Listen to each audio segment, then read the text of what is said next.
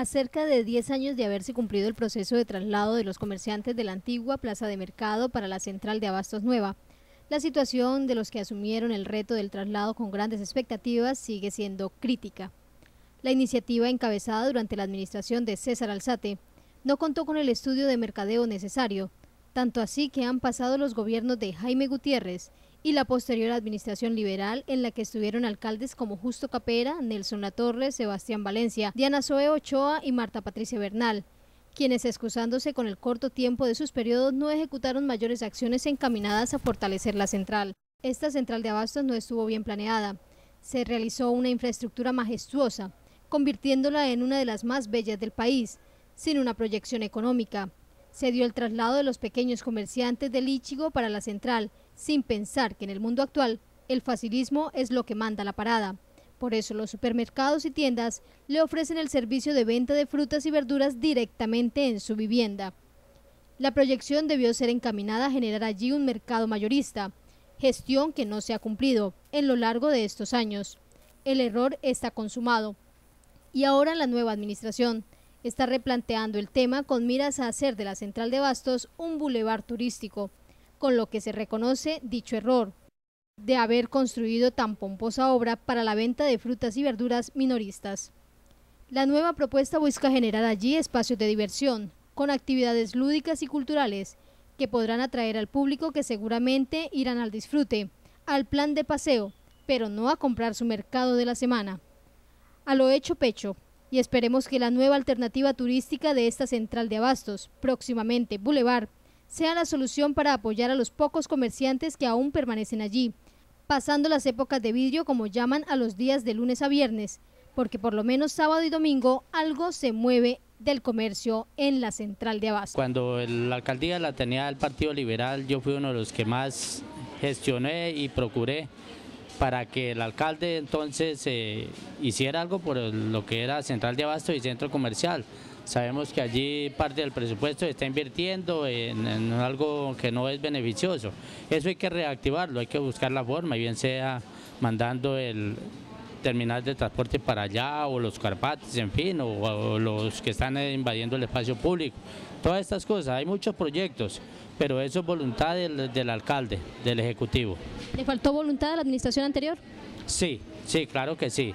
Sí, porque todos los alcaldes, usted sabe que el problema fue la cantidad de alcaldes que hubo y todos venían y decían que sí iba a ayudar, que sí lo iban a hacer, pero ninguno se comprometió, le faltó compromiso. La problemática básicamente es la reactivación económica de la central de Abastos, la publicidad.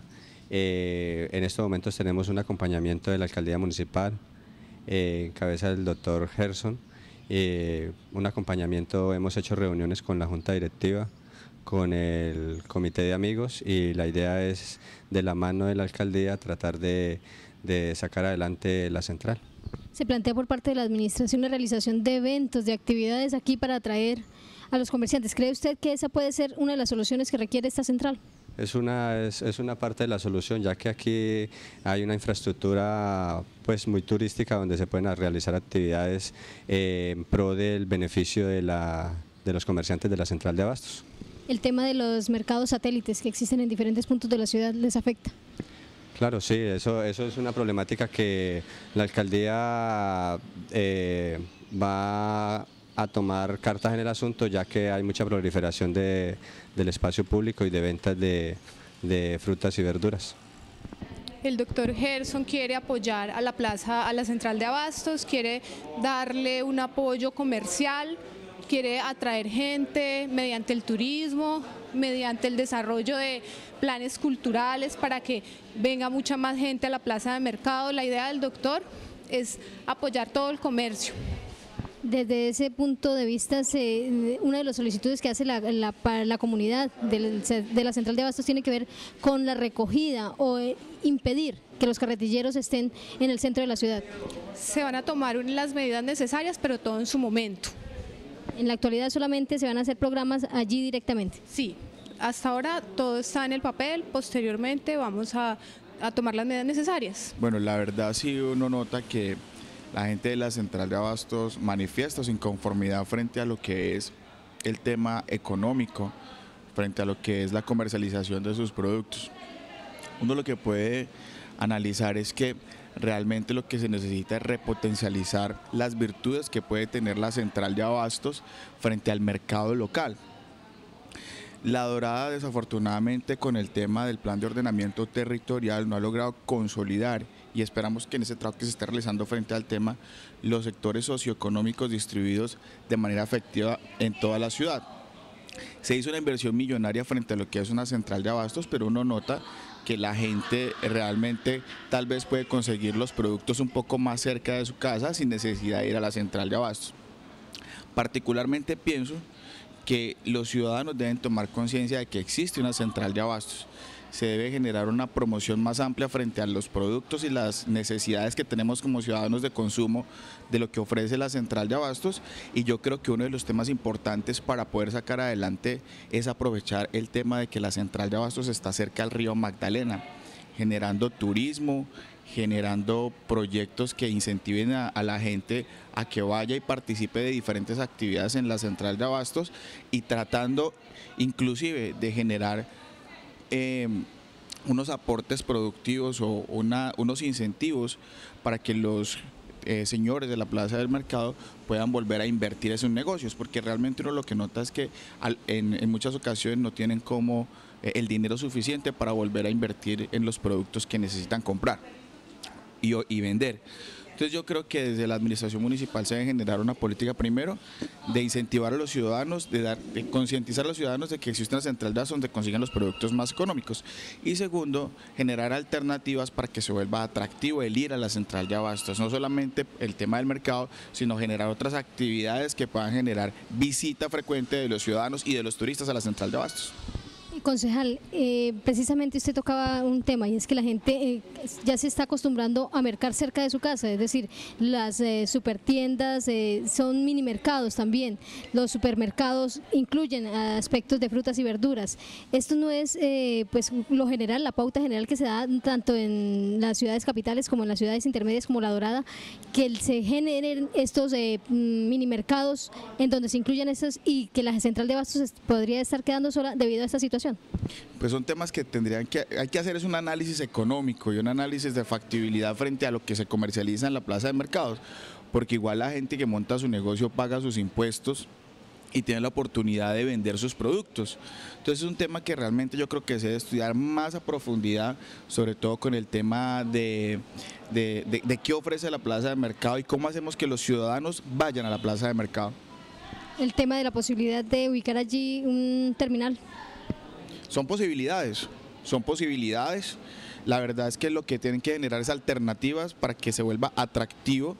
De hecho, la plaza de mercado es un lugar agradable. Uno va a la plaza de mercado, uno desayuna en la plaza de mercado, uno compra en la plaza de mercado y uno encuentra un sitio agradable, fresco, donde se encuentra con sus amigos los fines de semana, los domingos. Pero a mí me parece que también deberían explotar el tema del río Magdalena y aprovechar esa fuente. Eh, económica que se puede generar a través del turismo, atraer allí a a los ciudadanos y hacer que sea un sitio de, obligatoria visita porque se encuentra uno con el río Magdalena, porque de allí puede hacer turismo, ir a la plaza de mercado. Me parece a mí que podría ser una alternativa muy interesante. La gente conoce la plaza de mercado y adicionalmente compra en la plaza de mercado. La problemática de la central de abastos eh, también es financiera. Varias de sus deudas vienen acumuladas de años anteriores.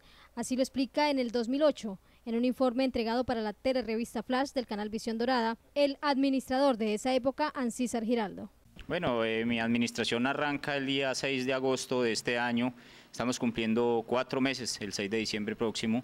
Y la verdad es que arrancamos eh, endeudados, o sea, recibimos una deuda aproximadamente de 300 millones de pesos eh, de la central de abastos, que, que, no es de un año, sino desde que inició. Inicialmente la central de abastos tenía unos contadores colectivos, o sea, comunitarios, especialmente de la luz y del agua.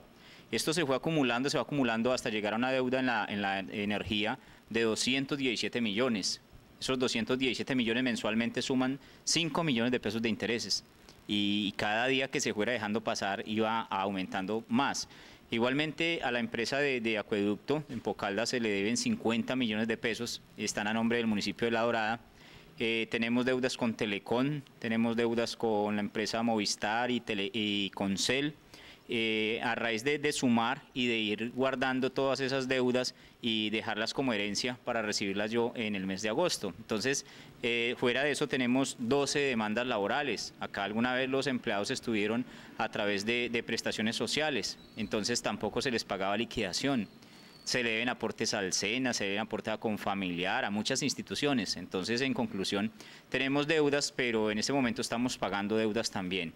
Desde que inicié en agosto hemos tratado de ir saneando, ir pagando deudas, eh, especialmente a estas de prestaciones sociales que, que son gente muy pobre, que trabajó acá alguna vez y que esperaban recibir algún día una liquidación. Esas personas de 12 demandas eh, laborales, eh, tenemos ya 6 que estamos terminando de pagar en este momento y es una de las tareas que yo me he propuesto, ir saneando y no abrir más hueco y no endeudar más la central de abastos, sino ir pagando lo, lo, que se debe. ¿Por qué la administración municipal, por qué la alcaldía de La Brada debe asumir estos costos o estos pagos? No, no, o sea, en ningún momento la administración lo que hace es pagar eh, unos eh, servicios de administración de 217 locales en promedio que tiene la administración municipal. Eh, muchas personas miran la central de abastos como una rama de la alcaldía, es mentira. La central de abastos es una propiedad privada, es una propiedad horizontal donde subsiste y sobrevive con el aporte o con el canon de arrendamiento que cada local mensualmente tiene que pagar. Servicio de energía no, o sea, ya cada uno tiene su contador a partir del año 2006 cada persona empezó a colocar su contador, pero quedó la deuda. Eh, con estos gastos nosotros prestamos más que todo aseo, eh, seguridad, eh, mantenimiento en general de, de todos los diferentes locales, de 386 locales en promedio. Entonces, con este, con, este, con este costo, digámoslo así mensualmente, es que sostenemos la planta de personal, con lo que la gente aporta. Básicamente hay muchas personas que tampoco aportan nada, porque están muy pobres, porque están quebrados por algún motivo, pero subsisten y están aquí. Y, poco o mucho están viviendo, están eh, consiguiendo su alimentación para su familia y para ellos de acá de la central de abastos. Entonces todo aporte que las personas hagan son para un beneficio propio y es sostener la plaza de mercado al menos abierta al público.